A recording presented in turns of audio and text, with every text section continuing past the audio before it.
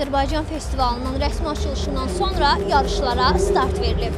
Layihənin əsas məqsədi müasir təhsil çağırışları əsasında inkişaf etmiş ölkələrdə tətbiq edilən təhsil yeniliklərinin ölkəmizdə öyrənilməsi və öyrədilməsidir.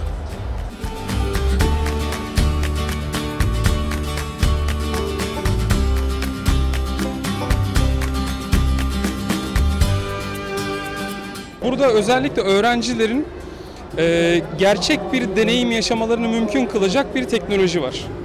Öğrenciler dijital ortamdaki bir nesneyi kendi ortamlarına taşıyıp değiştirerek, düzenleyerek e, kendi öğrenme ihtiyaçlarına göre kendi bireysel öğrenme süreçlerini kurgulayabiliyorlar.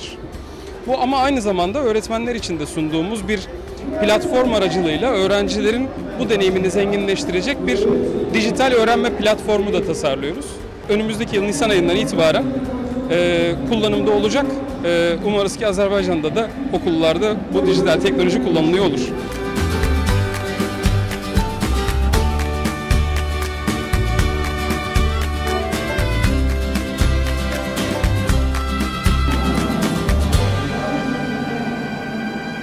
CNC aparat haqqında şagirdlərə məlumat verməyə gəlmişik. Nəyə görə? Həm peşə yönümlü təhsildə istifadə edə bilərik, həm də e, müxtəlif layihələrin hazırlanmasında CNC lazer kəsim apar aparatlarından istifadə edirik. Uşaqlar hal-hazırda 3 funksiyanı öyrənirlər CNC lazerlərinin sayəsində. Biri kəsim, digəri cızma, biri isə graving, yəni oyma dediyimiz. Hansı ki biz bunu 1 saata, xırda bir işi 1 saat elirdik. Lazer kəsim aparatının sayəsində bunu 2 dəqiqə, 1 dəqiqə həll edə bilərik.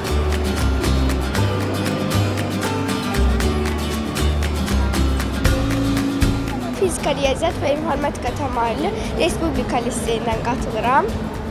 Bu bizim e, EcoCity City layihəmizdir. Yəni ekoloji cəhətdən təmiz şəhərimiz. Məqsədimiz o idi ki, yəni artıq şəhərimiz çox kirlənib, havalar e, çox kirlənibdi. Ona görə də biz burada hər şeyi e, daha da normallaşdırmaq istəyirdik. E, məsələn, ən maraqlı layihələrimizdən biri də budur ki, yosun binalardır.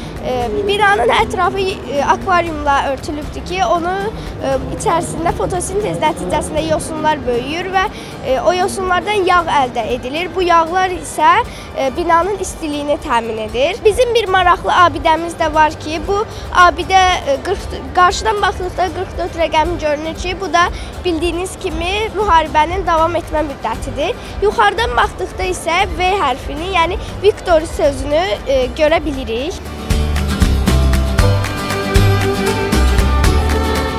Biz Şirvan şəhər Kimya Biologiya Təməl rayon liseyinin şagirdləriyik. Bu, bu sistem yarışında humanoid yarışına qoşulmuşuq. Proqramlaşdırırıq bu robotun əsasən beynini formalaşdırmalıyıq. Müəyyən kodlar var və həmin o hərəkətləri eləyəndə tezlikləri var. Biz onları əsasən kodlaşdırıb yerinə yetiririk.